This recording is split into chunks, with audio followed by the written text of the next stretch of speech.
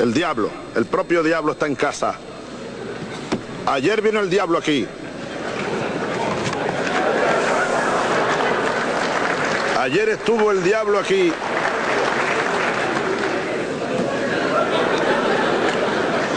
En este mismo lugar huele a azufre todavía esta mesa donde me ha tocado hablar. Bueno, suficiente azufre como para lo que hemos mostrado en Libia. Y cuando repartió riquezas con todo aquello que le acusaban y fue recibido oficialmente otra vez en la comunidad internacional, el desaparecido coronel Gaddafi dijo un discurso que tal vez generó las consecuencias que ahora ha sufrido. Dijo demasiadas cosas que no estaban tampoco acostumbrados a oír ahí. Este periodo de sesiones tiene lugar en medio de muchos retos que encaramos. El mundo entero debe unirse y mancomunicar y comunicar sus esfuerzos para superar los desafíos que son nuestro principal enemigo común.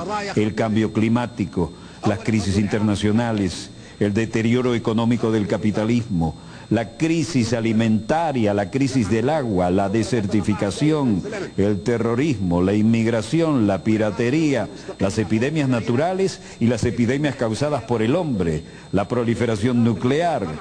Tal vez la gripe H1N1 fue un virus creado en un laboratorio que quedó fuera de control y que originalmente se había concebido como un arma militar.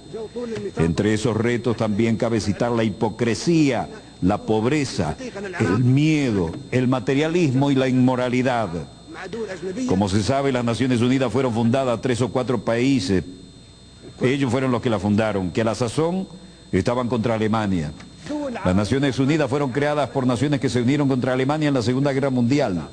Constituyeron un órgano denominado Consejo de Seguridad que convirtió a esos países en miembros permanentes y le otorgó el derecho de veto. Nosotros no estábamos presentes en ese momento.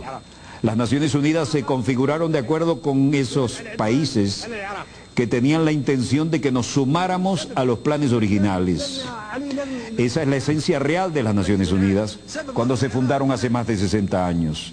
Eso sucedió en ausencia de unos 165 países a razón de 1 a 8, es decir, uno estaba presente y ocho estaban ausentes. Esos países redactaron la carta de la cual tengo aquí una copia.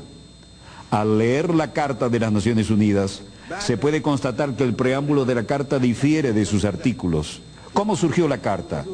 Todos los que asistieron a la conferencia de San Francisco en 1945 participaron en la redacción del preámbulo, pero dejaron los artículos y el reglamento interno del llamado Consejo de Seguridad en manos de los expertos, los especialistas y los países interesados, países que habían establecido el Consejo de Seguridad, los que se habían unido contra Alemania. El preámbulo es muy atractivo, nadie lo objeta, pero todas las disposiciones que aparecen después lo contradicen completamente. Rechazamos esas disposiciones y nunca las respaldaremos. Se volvieron obsoletas después de la Segunda Guerra Mundial. En el preámbulo, por ejemplo, se afirma que todas las naciones, pequeñas o grandes, son iguales. ¿Somos iguales en lo que respecta a los pueblos y en los puestos permanentes del Consejo de Seguridad? No, no lo somos. En el preámbulo se afirma por escrito que todas las naciones son iguales, sean pequeñas o grandes. ¿Tenemos nosotros derecho de veto? ¿Somos iguales? No.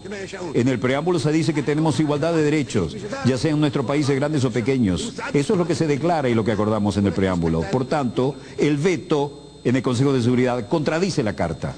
No aceptamos ni reconocemos el veto. En el preámbulo de esta carta se afirma que no se deberá recurrir a la Fuerza Armada, salvo en interés común. Ese es el preámbulo que acordamos y firmamos y nos sumamos a las Naciones Unidas porque queríamos que esta carta reflejara eso. Se indica que solo se recurrirá a la Fuerza Armada en interés común de todas las naciones. Pero ¿qué ha sucedido desde entonces? Han estallado 65 guerras desde la creación de las Naciones Unidas y desde la creación del Consejo de, Seguridad. 65 guerras desde su creación, con millones y millones de víctimas, más que en la Segunda Guerra Mundial. ¿Acaso en esas guerras, así como la agresión y la fuerza se utilizaron en esas 65 guerras, responden al interés común de todos nosotros representados aquí? No. Las guerras se llevaron a cabo en aras de los intereses de uno, tres o cuatro países, pero nunca de todas las naciones.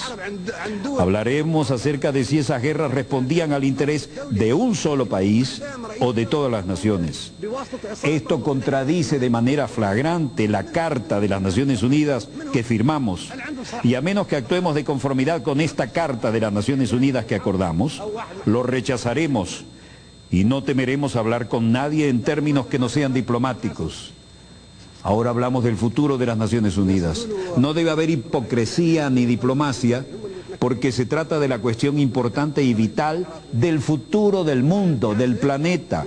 La hipocresía dio lugar a estas 65 guerras que han estallado desde la creación de las Naciones Unidas. Si un país, Libia por ejemplo, agrediera a Francia, entonces la organización entera respondería porque Francia es un Estado miembro soberano de las Naciones Unidas y todos compartimos la responsabilidad colectiva de proteger la soberanía de todas las naciones. Sin embargo, se han emprendido 65 guerras de agresión sin que las Naciones Unidas hayan hecho algo por impedirlas. Otras ocho grandes guerras violentas cuyas víctimas suman unos dos millones de personas ha sido emprendida por Estados miembros que disfrutan de los poderes de veto en el Consejo de Seguridad. Esos países que pretenden que creamos que tratan de mantener la soberanía e independencia de los pueblos, utilizan en realidad la agresión contra los pueblos. Ingresamos a las Naciones Unidas porque pensamos que éramos iguales, solo para comprobar que un país puede objetar todas las decisiones que adoptemos todos en la Asamblea General. ¿Quién le dio a los Estados miembros permanentes del Consejo de Seguridad esa condición? Cuatro de ellos se concedieron esa condición ellos mismos. El único país que nosotros en esta Asamblea elegimos con la condición de Estado miembro permanente en el Consejo de Seguridad es China. Ello se hizo democráticamente, pero los demás puestos no los impusieron de manera no democrática a través de un procedimiento dictatorial llevado a cabo en contra de nuestra voluntad y no debemos aceptarlo. La reforma del Consejo de Seguridad que necesitamos no es la de un aumento del número de miembros, lo que solo empeoraría las cosas para utilizar la expresión común sencillamente perpetuaría la proliferación de la superpotencia. Por consiguiente, rechazamos que se aumente el número de puestos permanentes. La solución no es contar con más puestos permanentes, lo que sería muy peligroso. Aumentar las superpotencias aplastaría a los demás pueblos de los países pequeños, vulnerables y del tercer mundo, que se están agrupando en lo que denominamos el grupo de los 100. 100 países pequeños que se unen en un foro que un miembro ha denominado el foro de los países pequeños. Eso es parte de lo que dijo. Tal vez al volver a ser parte de la comunidad internacional, ese discurso ya marcaba su independencia absoluta y tal vez fue algo que marcó su futuro magnicidio. Tenemos algo que compartir con ustedes y creo que esto merece es más, señor director, voy a volver al croma aquí, porque esto merece un fondo, porque esto representa la voluntad soberana de la República Bolivariana de Venezuela y representa un comunicado de nuestro Ministerio de Relaciones Exteriores. Con el Fondo de las Naciones Unidas, no, con el Fondo de nuestra Cancillería. Dice el comunicado, República Bolivariana de Venezuela, Ministerio del Poder Popular de Relaciones Exteriores, comunicado. El gobierno de la República Bolivariana de Venezuela condena de la manera más enérgica la política de barbarie conducida por la OTAN y sus aliados en Libia, que ha asumido a esa hermana nación en la guerra y ha subvertido por la fuerza el orden institucional de ese país. Esta es nuestra legendaria Casa Amarilla, la sede histórica no la moderna, pero la histórica de nuestro Ministerio de Relaciones Exteriores.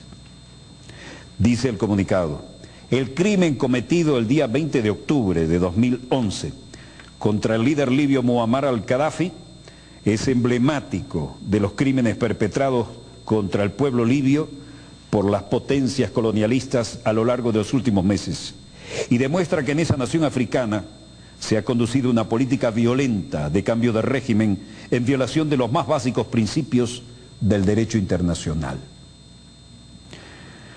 La agresión militar unilateral e ilegal de la Organización del Tratado del Atlántico Norte contra un país que no efectuó acto de guerra alguno siembra un triste precedente que podrá ser utilizado a conveniencia del imperio contra cualquier nación del sur que se imponga en el camino de su política de dominación.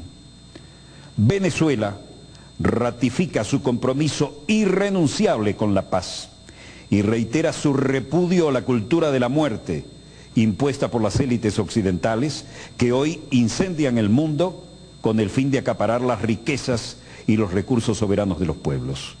Caracas, 21 de octubre del 2011. República Bolivariana de Venezuela, Ministerio del Poder Popular para las Relaciones Exteriores. Nos sentimos orgullosos de haber podido leer este comunicado que marca la política vertical de la República Bolivariana de Venezuela ante estos acontecimientos que conmueven de la manera más cruel la información internacional en nuestra querida, contaminada y única nave espacial.